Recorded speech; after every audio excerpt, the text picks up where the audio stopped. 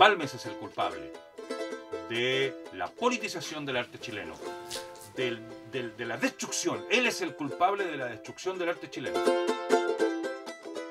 Es que uno tiene que desligarse de una weá que se inventó, que es muy bonito, por muchas cosas que se da pincelito.